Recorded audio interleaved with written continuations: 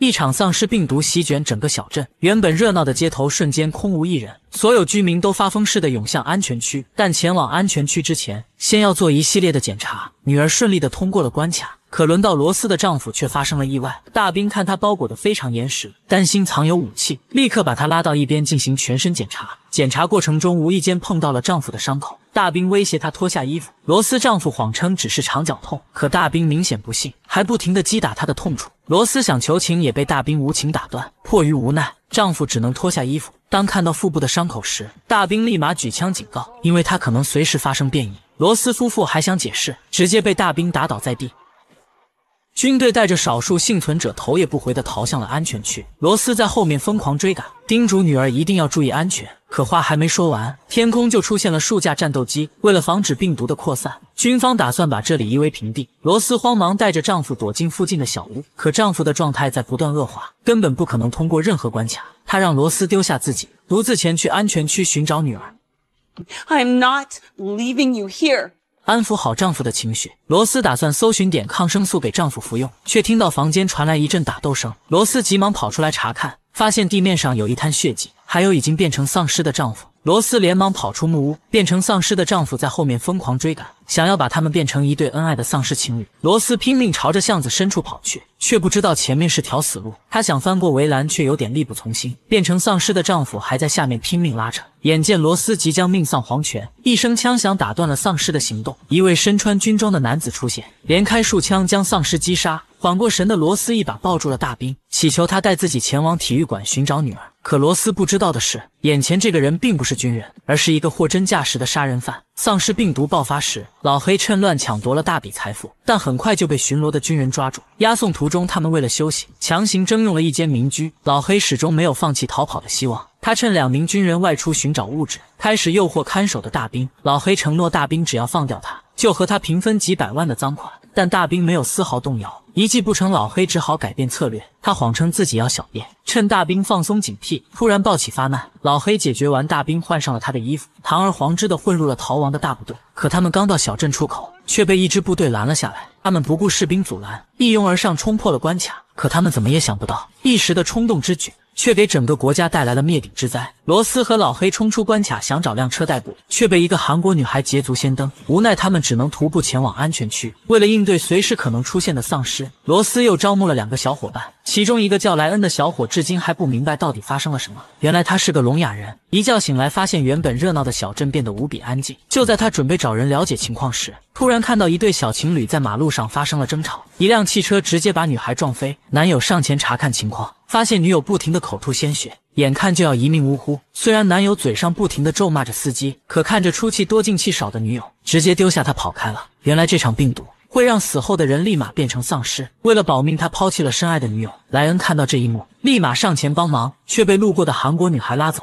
没一会，女孩吐出一大口鲜血，发生了变异。她开始疯狂的捕杀猎物。莱恩为了躲避追捕，跟着韩国女孩溜进了一处民宅。可刚打开门，就看到一家人被劫持的画面。在末日面前，人们心中的道德早已被消磨殆尽。莱恩两人又被迫开始了逃亡。突破封锁线后，他成为了罗斯的队友。四人小队一边徒步前往安全区，一边搜寻可用的车辆。好不容易找到一辆完好无损的，可惜已经名花有主。里面坐着一对母女，妈妈拿枪警惕地看着几人。罗斯等人只能放弃强抢的念头。一路上，他们时不时就看到幸存者被丧尸追赶的画面。莱恩想要上前帮忙，却被罗斯拦下。面对刀枪不入的丧尸，他们也没有百分之百制胜的把握，只能眼睁睁看着越来越多人变成丧尸。与此同时，开车前往安全区的韩国女孩和胡子叔也遭到居民的攻击。他们不停地往车上抛洒易燃物品。好在胡子叔车技高超，成功逃出了包围圈，可车子却在半路熄火了。后轮胎被什么东西卡住了？胡子叔让韩国女孩下车查看，可他却有点迟疑，他担心两人把他丢下。在得到不抛弃不放弃的承诺后，韩国女孩才下车清理卡住的自行车。可就在这时，一只丧尸向他们飞奔而来，女孩在丧尸赶到前跳上了汽车。胡子叔赶忙开车，可丧尸还是紧追不舍，趴在玻璃上不肯下来。胡子叔一会加速一会刹车，可怎么也甩不掉他。丧尸突然打碎车窗玻璃，对胡子叔发起了攻击。眼看几人就要彻底凉凉，女孩急中生智，拿着铁锤爬上车顶，对着丧尸就是一顿输出。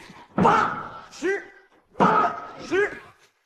胡子叔趁机一脚刹车，丧尸直接被甩飞出去。可丧尸刚落地，又准备发起攻击，胡子叔一脚油门把他送回了老家。击飞丧尸后，胡子叔显得异常兴奋，这是他距离死亡最近的一次。其余两人也是心有余悸，可还没等他们松口气，一辆黑车缓缓跟了上来。胡子叔断定他们是来抢汽油的，毕竟末日之下除了食物，最稀缺的就是能源了。他和女孩要锤子，想要解决司机，却被大妈拦了下来。毕竟在不知道对方人数的情况下，这样做很不明智。胡子叔虽然很勇猛，也感觉大妈说的不无道理。于是，一脚油门，打算甩开他们。可黑车也卯足了劲，在后面紧追不舍。就这样，两人在荒无人烟的小镇上来了一场速度与激情。胡子叔一个漂移，拐进了小胡同，暂时甩开了黑车。可还没等他们缓过神来，一对年轻夫妇不停地敲打着车窗。女人表示，只要能带他们前往安全区，她可以为胡子叔做任何事。面对这份诱惑，胡子叔果断拒绝。毕竟多一个人就多一份累赘。女人的呼喊声暴露了他们的位置，黑车再次追了上来。这次他们更加明目张胆，直接开车撞向了胡子叔。胡子叔一边加速一边和司机对骂，一个不留神，两辆车直接撞上了石墩。后座大妈因为没系安全带，直接飞了出去。黑车司机也当场暴毙。幸存下来的几人慌忙撤离，毕竟死后的人会立马变成丧尸，他们可不想成为丧尸的口粮。在丧尸的追赶下，五人慌忙逃向附近的餐厅，看着手舞足蹈的丧尸。胡子叔慌了，他们立马搜寻起店内的食物，可分量有限，根本不足以维持几人的生活。他们从厨房搜寻了大批武器，打算冲出去解决丧尸。胡子叔让韩国女孩敲打玻璃，听到动静的丧尸果然扑了过来，他们则趁机从背后发起攻击。可丧尸刀枪不入的属性，在近身战斗中占据了上风。虽然胡子叔几人占据人数优势，还是被两个丧尸打得节节败退。好在最后一刻，几人又逃回了餐厅。这次行动的失败，让本就不坚固的联盟出现了分歧。瘦子认为这种方式拖延的时间有限，现在丧尸可能也很饥饿。他建议胡子叔把韩国女孩扔出去喂丧尸，这样几人就有足够的时间逃到安全区。胡子叔听完立马拒绝了。如果把韩国女孩扔出去，那么在遇到危险，自己可能就是下一个牺牲品。瘦子遭到拒绝就要用强，毕竟他们的战斗力远远高于胡子叔两人。千钧一发之刻。韩国女孩看到了瘦子胳膊上的伤口，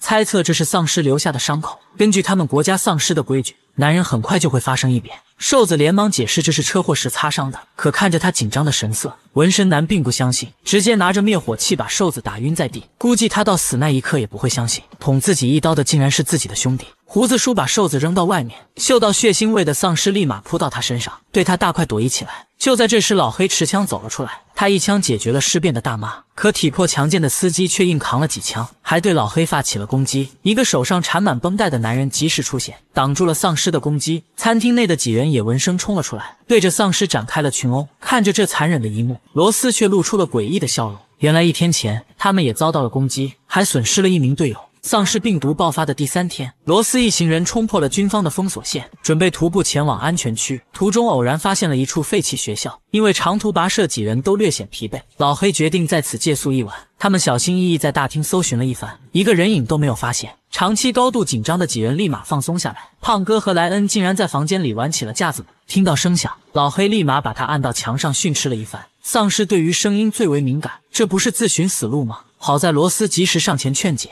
这才制止了流血事件。闹剧过后，几人正打算休息，老黑突然听到楼上传来响声。为了安全，几人急忙前去查看。他们在走廊尽头发现了一个小男孩，但很快就消失不见了。老黑提议尽快离开学院，这里可能还有其他人存在。可心地善良的莱恩却认为对方只是个孩子，对他们构不成威胁。如果没人照顾他，肯定会死在这里。可老黑依然不为所动，他认为男孩可能是个诱饵。就等着他们上钩呢。可莱恩却不相信，他直接脱离队伍，打算独自寻找小男孩。罗斯急忙上前拦住莱恩，他提议四人兵分两路，沿途搜索楼层的每个角落。如果还没发现男孩，他们就立马撤离。随后，罗斯和莱恩来到走廊尽头的卫生间，刚走进去就传来一阵刺鼻的气味。罗斯走上前去查看，里面竟然堆满了尸体。莱恩吓得头也不回的逃走了。罗斯赶紧追了上去，在一间教室里，他突然听到一个女孩的求救声。罗斯瞬间想起失散的女儿，不由得有些心酸。他们根据声音慢慢摸索，再次来到了那个卫生间。可当他打开门，里面竟然是一部收音机。意识到自己被耍，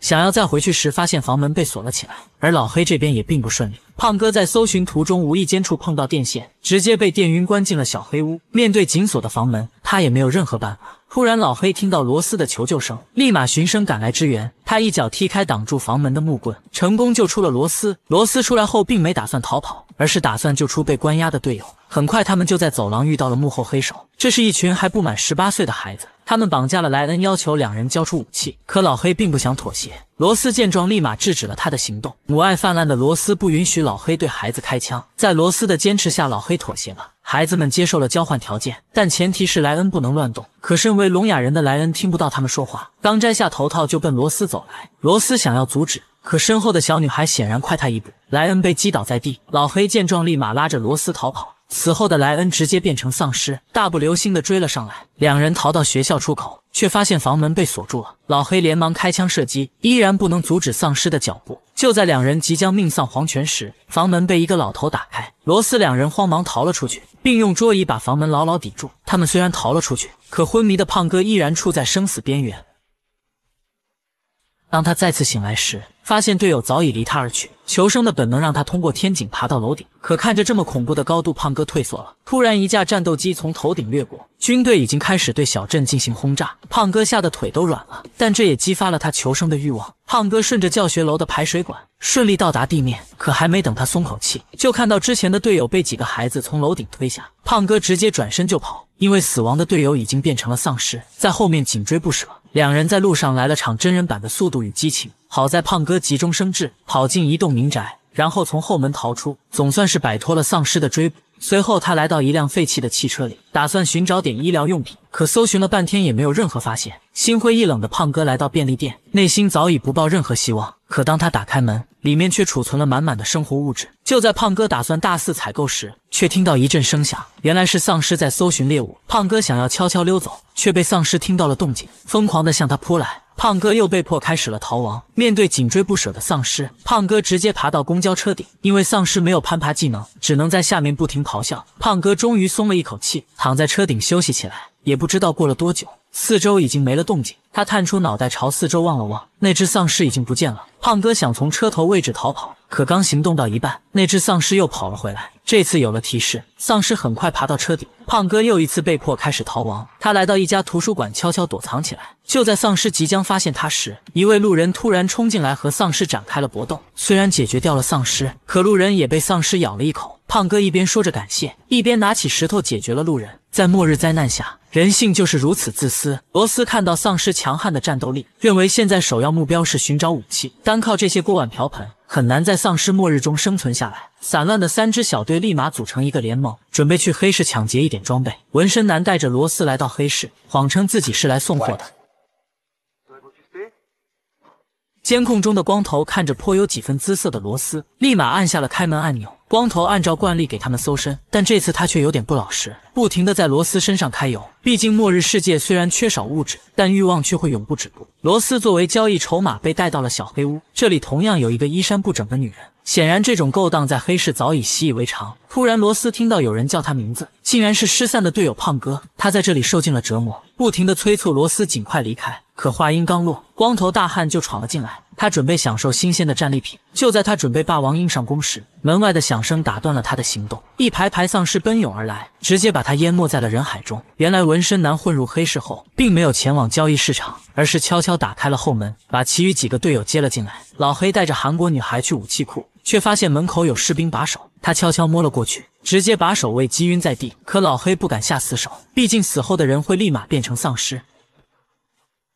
接着，纹身男使用祖传技能打开了房门。他们在武器库内搜寻了大批武器。为了引开门口的追兵，纹身男的女友溜进了黑市的舞池，迅速搜寻到一个目标，表面假装卿卿我我，背地里却拿出刀子解决了男人。变成丧尸的男人立马对舞池的幸存者发起了攻击，整个黑市乱成一团，无数幸存者被感染，变成了嗜血的丧尸。老黑带着众人躲藏在角落里，打算等丧尸离开后再逃出去。可没想到黑市的背后竟然是军队，他们立马派人消灭了变异的丧尸。战斗过程中，军队发现了罗斯一行人，打算把他们带到安全区。但当他们看到老黑时，却愣住。这两人正是当时押送老黑的守卫，他们的队友就是被老黑所杀。但双方都默契地选择了默不作声，因为老黑身上有他们觊觎的财富。到了晚上，两名军人偷偷押着老黑前去挖掘埋藏的赃款，却被罗斯听到动静跟了出来。军人给他解释了来龙去脉，并告诉他老黑是杀人犯。To make it to the stadium, My daughter is going to be waiting for me there. 面对罗斯的质问，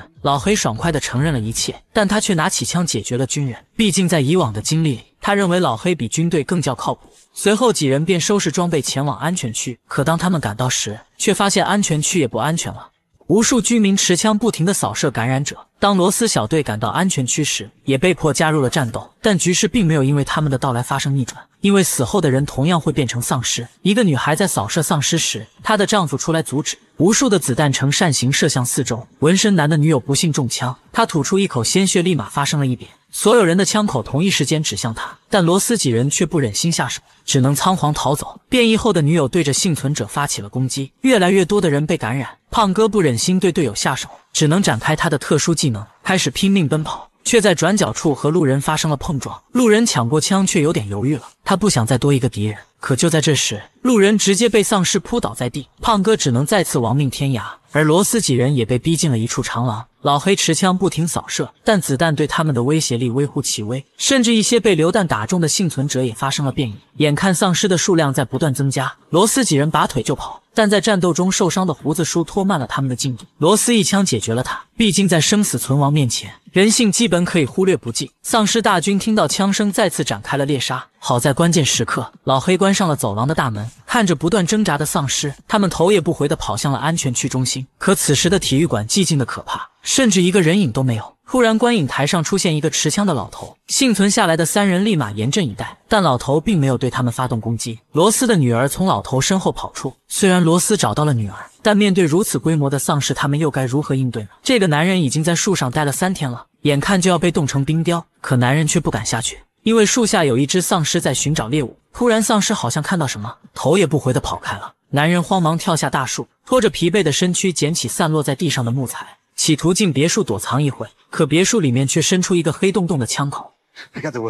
眼见丧尸越来越近，别墅主人把他放了进来。没想到持枪的人竟然是罗斯。几天前，小镇爆发了一场丧尸病毒，很快就蔓延到所有城市，丧尸的数量越杀越多，甚至最后一个安全区也彻底沦陷。好在最后一刻，罗斯成功从里面救出了女儿安娜。面对丧尸病毒导致的末日，他们被迫又开始了一场求生之旅。这天，两个男人正在商店搜寻物质，却听到一个小女孩在门口求救。善良的男人打开了门锁，可女孩进来后不仅没有表示感谢，反而径直打开了商店后门。罗斯一行人闯进了商店，直接把好心男赶了出去。他们搜寻了一些生存物质，正准备离开时，却听到公路上传来枪声，这是当地的平民武装分子。他们自发地组成一个联盟，大肆搜寻生存物质。罗斯几人见状，立马躲藏起来。可武装分子并没打算放过他们，他们仔细地搜寻屋内的每个角落。眼见追兵越来越近，三人慌忙趁乱逃了出来。可在逃亡过程中，老黑不幸中枪。韩国女孩想要搀扶着老黑起来，可努力了好一会也没能成功。罗斯认为老黑会成为他的累赘，想要把他丢在这里。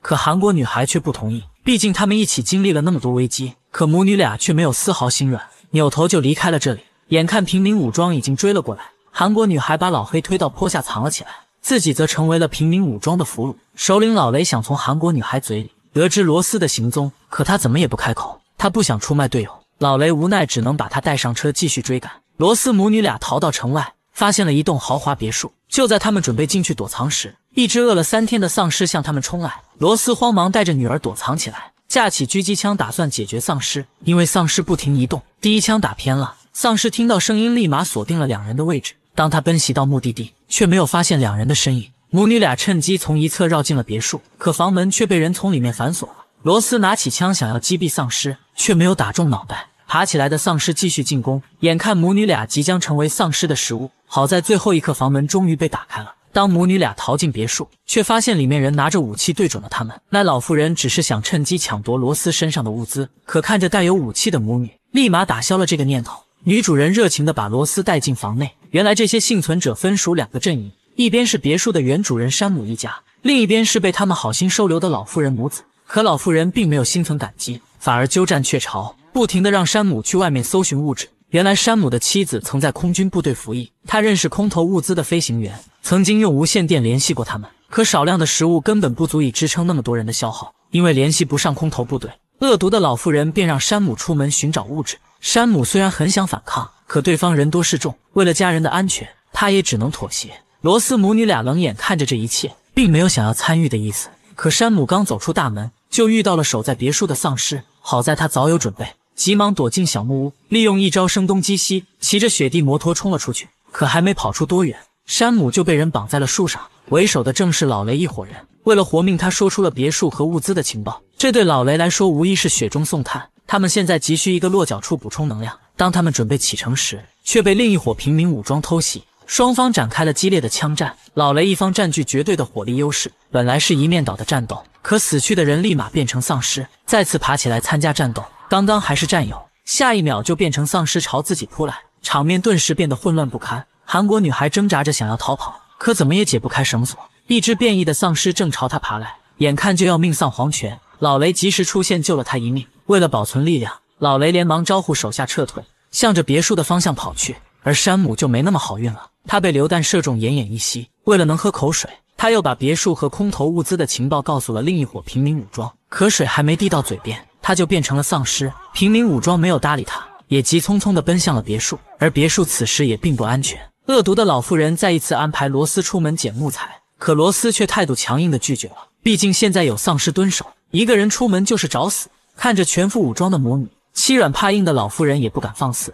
只能安排大儿子出门。老大非常听话，二话不说就跑到小木屋拿到了木材。可回去时不小心摔了一跤，木材散落一地，声音惊动了附近的丧尸，他吓得头也不回的跑向别墅。可弟弟知道他手上没木材，硬是不给他开门。无奈老大只能爬上附近的大树躲避丧尸。木材没拿到，寻找物资的山姆也没回来。老妇人的二儿子坐不住了，他不停地催促山姆的妻子联系空投部队，让他们尽快运送物资。可任凭他们怎么呼叫，都没有得到回复。气急败坏的老二直接开枪解决了他。死后的女人没多久就变成了丧尸，疯狂地朝他扑去。老二见状，飞快朝着楼下跑去。整个别墅陷入一片混乱。好在罗斯一枪解决了丧尸，但这也让罗斯意识到，老妇人和他儿子就是定时炸弹，留着他们不一定还会出什么幺蛾子。而且现在双方势均力敌，罗斯用扑克牌给女儿打出暗号，两人手起枪落，利索的把两人爆头。长期的逃亡生涯早已让罗斯的内心变得冷酷无比。就在罗斯准备处理尸体时，却听到别墅外传来求救声。他来到窗边，架起狙击枪，发现一个男人正在被丧尸追赶。眼看两人的距离越来越近，丧尸却被周围的铁栅栏卡住了。男人不停的呼喊求救，突然一声枪响，正中丧尸脑门。男人一边表示感谢。一边连滚带爬的跑向别墅，可还没等他走出多远，男人也中枪倒地。罗斯自然不可能让他进入别墅，毕竟末日世界中能相信的只有自己。虽然解决了丧尸，可他们的麻烦还远远没有结束。老雷带领的平民武装已经包围了别墅，他们剪开铁丝网，决定从一侧进攻，这样能尽量减少伤亡。当几人刚准备好进攻阵型，就听到草丛里传来一阵大喊，饿了三天的丧尸飞快地向他们扑来。众人无奈，只能持枪反击，终于结束了他的使命。枪声引起了罗斯的警惕，女儿安娜开始发起反击。眼看偷袭的计划落败，老雷拿出一块白布塞到韩国女孩手里，让她用力挥舞，然后呼喊投降的口号。面对黑洞洞的枪口，韩国女孩也只能照做。男人把她当成肉盾，成功到达别墅门口。他开始对着里面喊话。男人要求罗斯放弃抵抗，这样还能留他一命。毕竟他们人数占据绝对的优势。就在罗斯犹豫时，门外突然枪声大作。无数子弹射向房间，罗斯慌忙寻找掩体。等到枪声平息下来，罗斯探着脑袋从窗口观望，发现两伙平民武装打了起来。两伙人越打越凶，变成丧尸的人也越来越多。眼看即将全军覆没，老雷趁机带着队友敲碎了地下室的玻璃，打算从这里悄悄溜进去。可几人刚走进房间，就遇到了一只丧尸。好在队友身经百战，很快就把丧尸爆头。这可把旁边的韩国女孩吓傻了。而老雷看到后，立马把枪口对准了队友。尽管队友极力解释，老雷还是把他送去了天堂。毕竟他也不确定队友有没有感染。随后几人来到大厅，发现这里布满了尸体，随时都可能变成丧尸，别墅也不再安全。突然，他们看到不远处有一处空投，急忙跑去搜寻物资。而罗斯母女此刻正躲在浴缸里，他们可不想卷入这场战争。突然，一个拿着斧子的男人冲了进来，可他却没有动手的意思。罗斯举枪就要射击，男人吓得立马跪了下来，表示自己知道机场的位置，还和飞行员是朋友。能带着罗斯母女逃往安全区，眼下别墅也不再安全，母女俩便跟着男人踏上了征程。这个男人在冰天雪地里发现了一个空投，几人慌忙前去查看，因为他们已经三天没有吃饭了。可空投箱却被钉子卡住了，单凭他们捡来的树枝，根本无法撼动分毫。就在几人打算蛮力开箱时，一个大兵持枪瞄准了他们，显然他也很在意空投里面的物质。几人经过别墅的战斗，早已弹尽粮绝，只能束手就擒。好在大兵并不算坏，没有想要独吞的意思。他从背包里拿出撬杠扔给飞人，示意他们继续开箱，到时候几人平分物质。空投箱里是一些食物和药品，都是他们急需的东西，只不过食物全冻住。大兵解释道：“这是单兵作战口粮，一般都自带无焰加热器，只要找到灰色或绿色的包裹就行了。”几人一番搜寻，果然发现了加热器，但这些东西实在太多了。大兵建议把整个箱子搬出山谷，因为这些物资浪费一点，都可能让他们在未来送命。几人立马同意了他的建议，可两个女人却拿着食物互相对视了一眼，好像在谋划着什么。随后，他们利用杠杆原理制作了一个简易的推拉装备。大兵和辫子男在后面推箱子。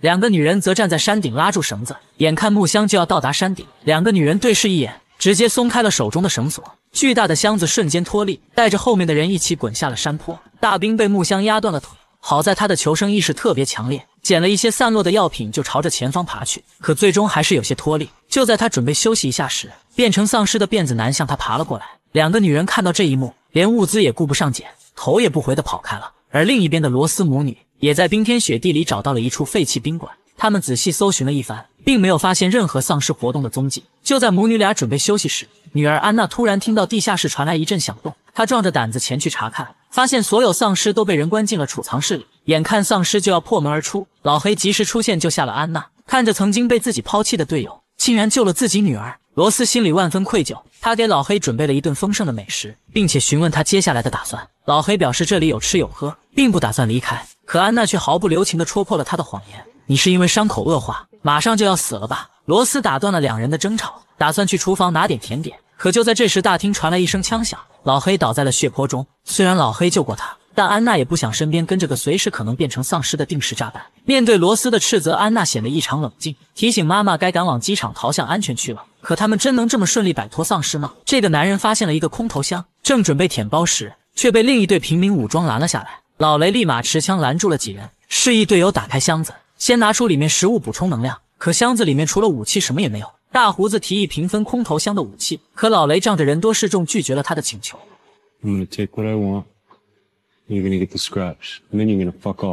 面对强势的老雷，大胡子也只能照做。可就在几人清点弹药时，大胡子突起发难，一枪解决了老雷的小弟，双方的平衡瞬间被打破。大胡子反客为主，表示自己要拿走所有武器。可老雷丝毫不肯退让，大不了就是鱼死网破。就在双方对峙时，远处突然冲过来两只丧尸。看到这一幕，老雷反而笑了。他并不打算先解决丧尸，继续和大胡子僵持着。可大胡子就没他那么淡定了，看着越来越近的丧尸，直接调转了枪口。丧尸虽然被击倒在地，但他们也成了老雷的俘虏。眼看大胡子就要步丧尸的后尘，韩国女孩站在了两人中间，并把一袋子武器塞给了大胡子。本是你死我活的局面就这样被他轻易化解。老雷看到韩国女孩心地如此善良，解开了她手上的绳索，正是把他当成了队友。可当他们刚赶到机场，就遭到了丧尸的进攻。好在几人反应迅速，躲进了机场的小木屋内。随后，老雷用桌子挡住了房门，抵挡着丧尸的攻击。可就在这时，隐藏在角落的罗斯拿枪瞄准了他。好一招螳螂捕蝉，黄雀在后。可制止罗斯的人竟然是大胡子，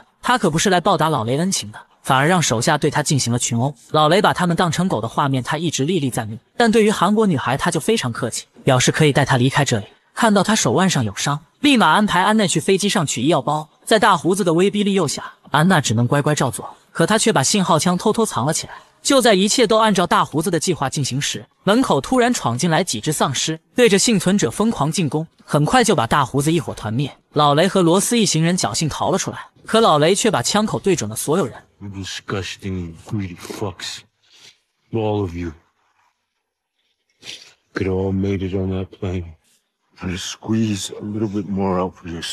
在末日世界，可怕的不是丧尸，而是人心。可罗斯完全没有听进去，直接拿起信号枪射向了老雷身旁的汽车。巨大的冲击力把两人震飞，罗斯的腿也骨折了。韩国女孩和安内想带着他逃跑，可罗斯却不想拖累两人，拿枪对准脑袋，逼迫他们尽快离开。虽然他冷血无情，但为了女儿，他付出一切都值得。两人被逼无奈，只能朝着飞机拼命奔跑。后面的丧尸也紧追不舍。逃跑过程中，一个女人想使坏，把韩国女孩推倒，可奸计不仅没得逞，反而自己成了丧尸的食物。很快，两人跑到飞机旁，可安娜确定住了，无论韩国女孩怎么呼喊，她都无动于衷。随后调转方向引开了丧尸，为女孩争取到了时间。她成功登上飞机，成为了唯一的幸存者。